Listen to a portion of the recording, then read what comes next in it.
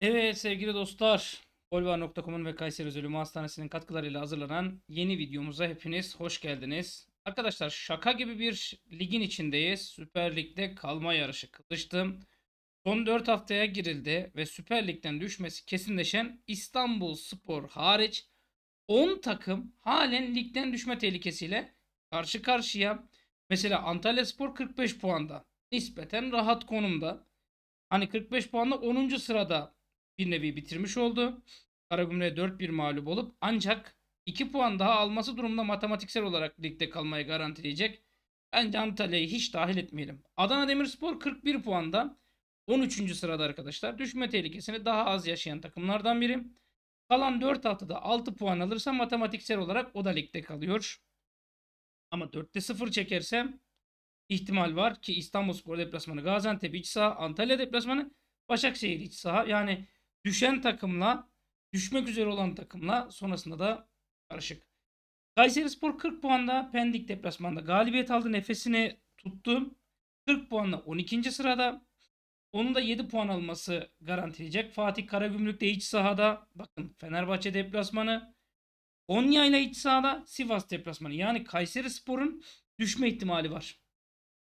Artı ek olarak Samsun Spor 39 puanda ve ateş hattında Trabzonspor'la iç saha, Konyaspor deplasman, Alanya iç saha, Fatih Karagümrük deplasman. Ben açıkçası buradan Samsun'un sağa çıkacağını zannetmiyorum. Ama Ankara gücünün fikstürü de çok ilginç. 38 puanda. Alanya iç saha, Hatay deplasman. Pendik iç saha, Trabzon deplasman. Yani bu da ilginç. Fatih Karagümrük 36 puanda. Kayseri Spor'la deplasmanda. Galatasaray'la iç sahada. Gaziantep'le deplasmanda. Samsun'la iç sahada. Yani Fatih Karagümrük yatmamak zorunda. Kimseye yatmamak zorunda.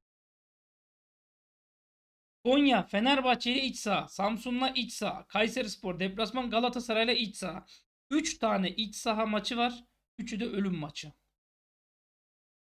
Dördüncü maçta ölüm maçı. Gaziantep bana kalırsa e, en rahatları Gaziantep ama Gaziantep Hatay'la içeride. Adana Demir deplasman, Fatih Karagümrük'le içeride. Pendik deplasman ayarlasak bu kadar olmaz. Hatay. Bence Hatay düşecek takımlardan biri. Gaziantep deplasmanı. Ankara gücüyle iç saha. Beşiktaş deplasmanı. Rize iç saha. Muhtemelen Beşiktaş'ı yener Hatay. Çünkü Volkan Demirel'in böyle bir psikosu var. Ankara gücü iç saha muhtemelen Ankara gücü maçından da galip ayrılır. 6. Gaziantep Rize maçları Hatay'ın kaderini belirler. Ve son olarak Pendik Spor Pendik'in 4 maçı kaldı. Antalya deplasmanı, Rize ile iç saha, Ankara gücü deplasmanı, Gaziantep iç saha. İnşallah hepsini de kaybeder. Pendik. Bunu söyleyeyim. Şimdi biz Fenerbahçe'ye dönelim. Boş verelim Pendik'i, Galatasaray'ı, Beşiktaş'ı. Fenerbahçe'de İsmail Kartal Ceko açıklaması. Yani dışarıdan baktığımız zaman çok komik bir kulübüz de mecburen tuttuğumuz için de bir şey diyemiyoruz. Ceko ile İsmail Kartal arasında sorun varmış da buna dair açıklama geliyor. Özellikle Beşiktaş derbisinde yapılan tercihler çok bilmem ne yapılmış da sosyal medyada konuşulmuş da falan filan. Lan senin Sivas'ta puanın çalındı. Belki senin Sivas'ta şampiyonluğun çalındı. Çıkıp bir cümle açıklama yapmadın. Aklına Edin Ceko mu geldi? Yemişim Edin Ceko'sunu başkasını ya. Ya abi bende mi sorun var? Bazen acaba diyorum bende mi bir tuhaflık var? Bir, acaba bir beyinsizlik mi var diyorum. Gerçekten bak Yemin ediyorum kafamda ya deli sorular ya. Çılgın çılgın sorular var ya. Çözemiyorum bazı soruların cevabını çıkartamıyorum ortaya.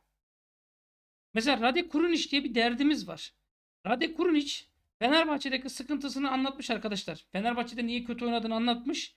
Neymiş biliyor musunuz özet olarak?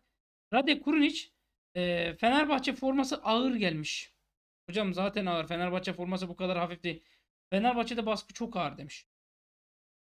Lan arkadaş beklentiler karşılıksız çıktı. Hani internette bazı videolar var ya kadın böyle suratına makyaj yapıyor falan. Sonra yıkıyorlar, siliyorlar, bir şey yapıyorlar. Erkek çıkıyor. Hani bunun e, anayasadaki adı avratta sahtecilik diye geçiyor diye esprileri var. Hani evrakta sahtecilik falan diye. Ya Radekur'un işte öyle. Aldık, elini yüzünü bir yıkadık. Bildiğim Maldonado çıktı. Maldonado daha iyiydi. Bak bana kızabilirsiniz. Kılmayabilirsiniz. Sen de Fenerbahçe futbolcusunu çöplüyorsun şöyle böyle diyebilirsiniz. Ben çöplerim kardeşim. Ben Crespo gitmesin diye yırtınanlardan biriydim. İyi de Crespo gitti de sanki gittiği takımda çok mu oynuyor? Lan gittiği takımda oynayıp oynamaması beni bağlamaz, sizi bağlamaz.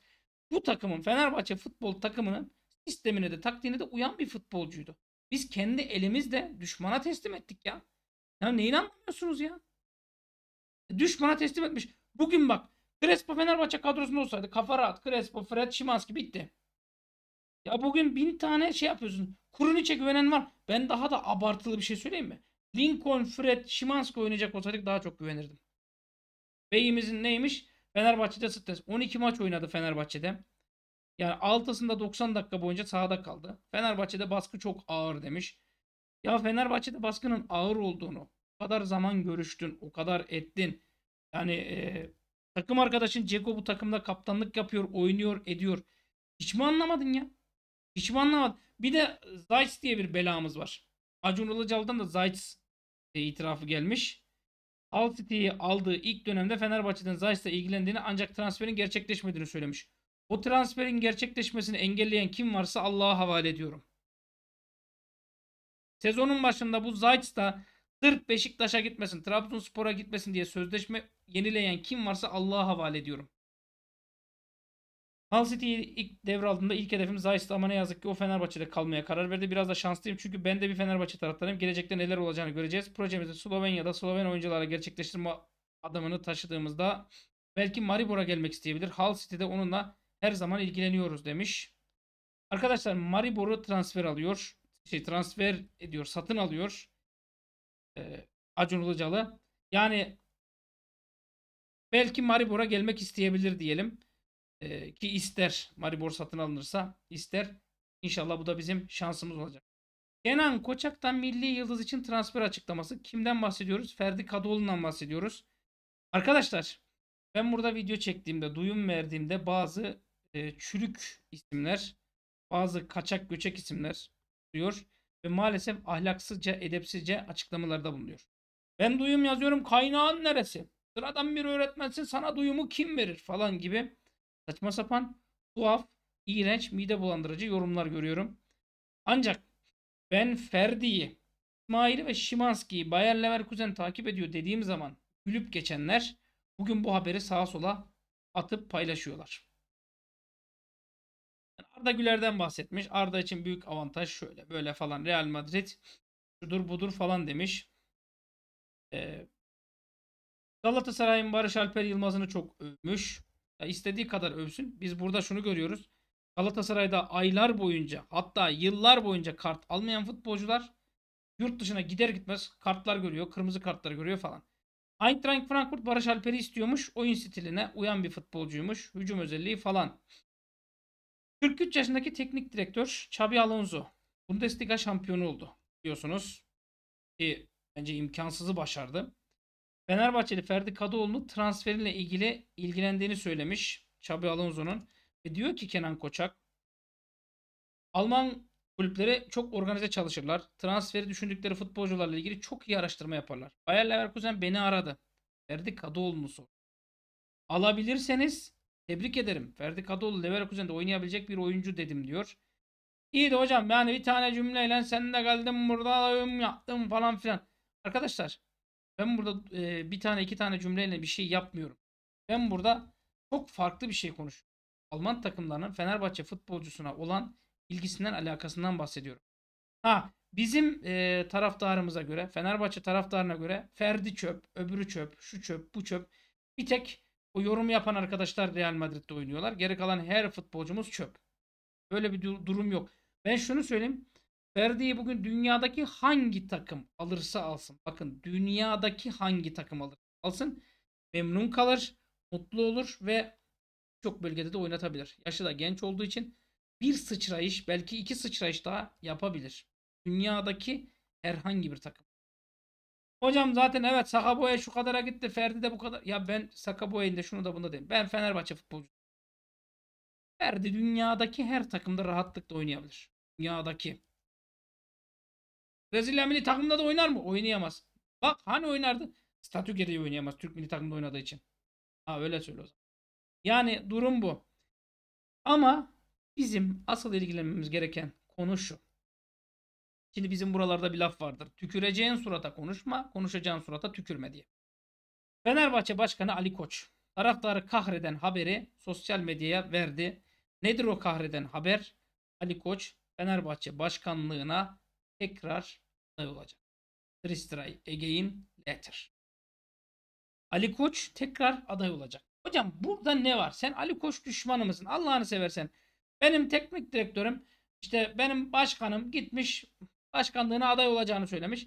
Sen de çıkmışsın başkanı kötülüyorsun. Hocam senin yaptığın hoş bir şey değil diyebilirsiniz. Kabul. Yani şunu söyleyeyim. Mesela Ahmet Ercanların bir iddiası var. Aklıma gelmişken.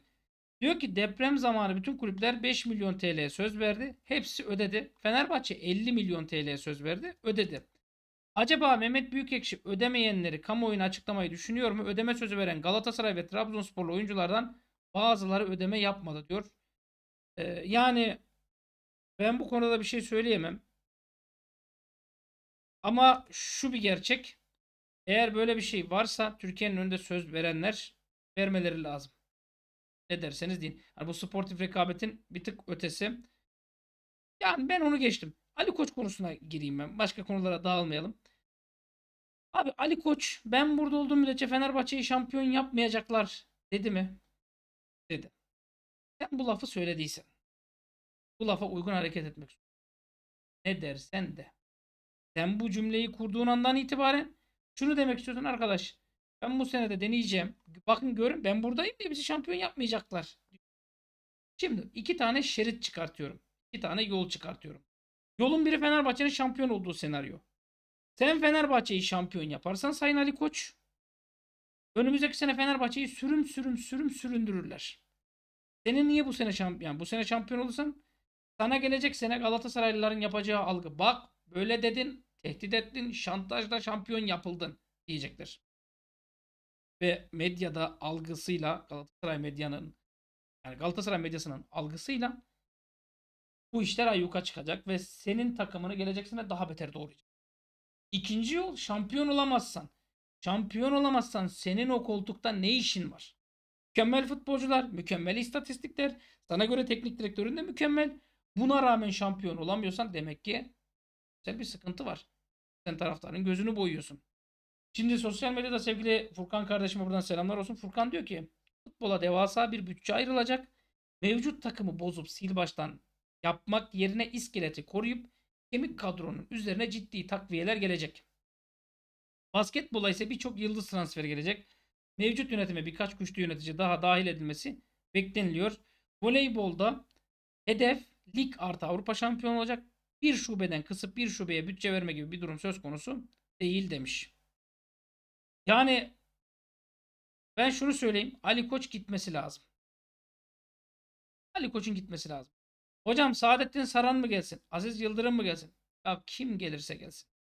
Ali Koç'un Fenerbahçe başkanlık koltuğunda durduğu her an, her dakika Ali Koç'un kendi kara, kariyerine de zarar. Ya şunu söyleyeyim. Aziz Yıldırım'la devam etseydik Galatasaray, Beşiktaş, Trabzonspor serileri falan bitmemiş olsaydı hiç kimse bu kadar zoruna gitmezdi. Derdi ki arkadaş en azından psikolojik üstünlük bizde şöyle böyle falan filan derdi. Ve çok garip bir durum değil arkadaşlar? Yani çok garip bir durum. Ben Ali Koç'un Fenerbahçe başkanı olarak devam etmesini istemiyorum. Rahatsızlık duyuyorum arkadaşlar. Ben rahatsızlık duyuyorum. Bu cümleyi kuruyorsan anlatabiliyor muyum? Bu cümleyi kuruyorsan ben hiçbir şey demiyorum. Şimdi sosyal medyada Sinan Yılmaz demiş ki Galatasaray bu sene şampiyon tamamlarsa önünde ciddi bir avantaj olacak. Bankalar Birliği'nden çıkılacak. Ezeli rakibinin yıldızları bir yaş daha yaşlanacak. Galatasaray'ın omurgasızlığı, şey, omurgası Muslera ve Mertens hariç hala genç Okan Buruk 5. yıldızı takabilir. Şimdi burada psikolojik bir cümle var. Galatasaray'ın kadrosunun genç olduğunu söylüyor. Hani hangi Galatasaray'dan bahsediyoruz ben bilmiyorum açıkçası ama benim bildiğim Galatasaray'da genç diyebileceğin hatta şöyle transfer marketine gireyim belki bende sıkıntı vardır. Piyasa değeri diyeyim mesela. En yüksekten en düşüğe doğru. Icardi 31.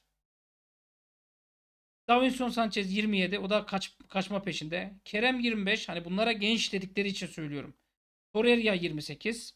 Nelson 25 çöp. Zaha 31. Tete süperstarı 24. Ha Barış Alper 23 tamam. Endombili 27 ruh yaşı 90. Abdülkerim 29 yeni sezonda 30 olacak. Eylül doğumlu. Hakim Ziyechki 31.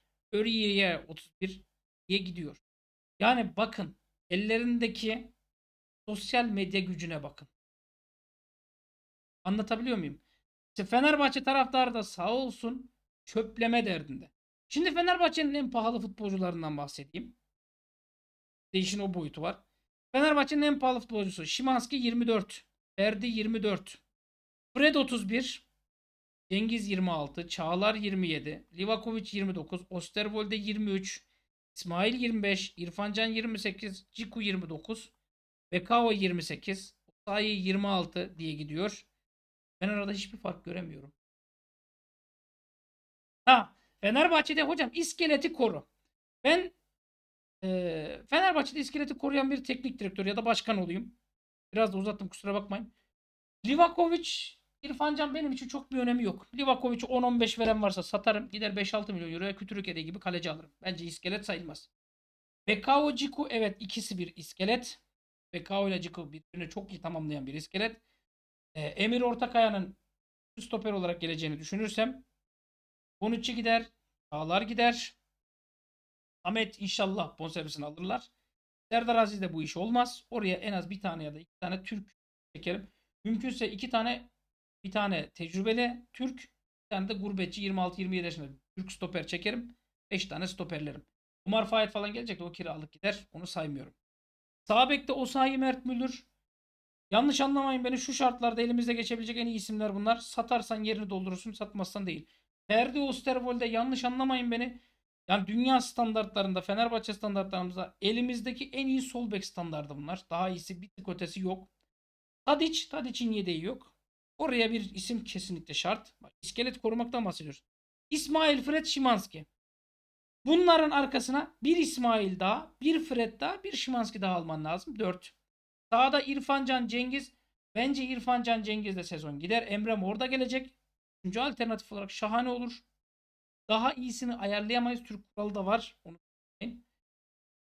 Hücum hattında Ceko Batshuayi, Umut Nair diye gidiyor. Umut Nair taraftarın şeyini almaz. Açık söyleyeyim gazını almaz. Ceko ben Ceko'nun artık yaştan da malum keşke Arap kulüplerinden birisi devasa bir teklifte bulunsa. Ceko'yu satsak. Batshuayi ana forvet olsa arkasına bir Batshuayi daha satın alsak derim. Yani 3 orta sahaya 1 Tadic'in yedeği 4. Bir tane stoper dedim 5. Bir tane gurbetçi 6. Ee, bir tane forvet 7. Yani Fenerbahçe'nin an itibariyle kimseyi satmasa bile 7 isim alması lazım. Geri dönecek Crespo'su var. Bilmem Lincoln'u var. Şunu var. Hani geri dönerlerse. Cao Pedro'su var. Osu var. Busu var. Şusu var. O yüzden Başkan Ali Koç da olsa, Ahmet de olsa, Mehmet de olsa devasa bütçe ayıracak. Külliyen yalan. Devasa bütçe ayırıp neye ayıracaksın? Kimi kandırıyorsun? Devasa bütçeyle arkadaşlar 50 milyon euroya bir tane futbolcu alın Fenerbahçe'de hangi mevkiyi alırsınız? Ligin bilmem asit kralı kanadı. En çok gol atan kanadı. Tadic'in yerine mi alırsın? Ferdi'nin yerine mi alırsın? Stopere mi alırsın? Sağ bekine mi alırsın? O sahi Mert Büldür. İrfan Can bu kadar iyiyken. Forvet'e mi alırsın? Nereye alırsınız? 50 milyon euroya bir futbolcu aldıysa. Ya da şöyle söyleyeyim 60 milyon euroya 3 tane futbolcu alın arkadaşlar. Devasa 3 tane futbolcu alın. Nereye alırsınız? Hangi mevkiye alırsınız? Hocam iyi de Şimanski düşüş. Sat Şimanski yerine al. Kabul. Devasa bütçe koymadan diyorum. Anladınız mı? Yani biraz da bir kelime oyunu var gibi geliyor bana. Kardeşim devasa bütçeye gereğin yok ki senin. Senin devasa bütçe ortaya koymana gerek yok. Kendi yağında kavrulur bu takım. Ya bu takıma daha gelecek bir sürü para var. Biliyor musunuz? Bu takıma gelecek bir sürü para var. Yani Crespo'yu beğenseler, Lincoln'u beğenseler sırf 10 milyon euro bu ikisinden geliyor. Yani 10 milyon euro bu ikisinden geliyor. Ya hiç kimseyi satmasan, hiç kimseyi hiçbir yere göndermesen 10 milyon euro buradan geliyor ya. Şu an mesela başkan ben ee, şeye bakıyorum. Mesela Omar Fayet getirirsin kadronda tut. Ertuğrul Çetin 3. kaleci. Hani Jorginho var. Orta sahaya ben tutarım dersen. Ben tutup tutmayacağını konusunda bir şey diyemem. Sadece söylüyorum. Bak Crespo, Pedro, Lincoln, Samet Akaydın, Emre Mor. Yani Crespo, e, Lincoln, Samet'ten 14 milyon euro gelebilir arkadaşlar. Opsiyon haklarından doğan şeyden e, kaynaklı. Emre Demir'in gelecek, Umut Nair gelecek, Burak Kapacak gelecek. Oynatır oynatmaz bir şey diyemem. Emir Ortakaya, Bartu Elmaz gelecek mesela. Çatır çatır ön libero. İsmail'in arkasına al Bartu'yu koy oynat. Çatır çatır ön libero. 1 milyon 400 bin euro para verdin. Buraya başka bir isim de, isim de alamaz. Türk çocuk aynı zamanda. Bak ön libero da beklemeyin. Yani İsmail'in arkası da doldu. Thiago Çukur'u falan saymıyorum. Thiago Çukur'dan hani bir umudunuz olacağını zannetmiyorum. Beklenti içerisine gireceğini zannetmiyorum. Thiago Çukur kumardı. Fenerbahçe e, bir zar attı. Oldu olmadı. Bence olmadı. Ha, doğru ele gitse olabilir. 8 birinci lig maçında 2 gol 1 asist yapmış mesela 435 dakika. Ümraniye Spor'da da oynuyor bu arada bilginiz olsun. En azından bir sene daha kiralanabilir. Yaşı genç daha 21 yaşında. İsmail Yüksek mesela gitti birinci ligde ne oldu?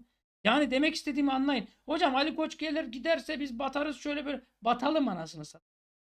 Satayım ya yeter batalım ya. Ya ne kadar şey batma korkusu varmış hepinizde ya. Ne kadar batma korkusu varmış ya.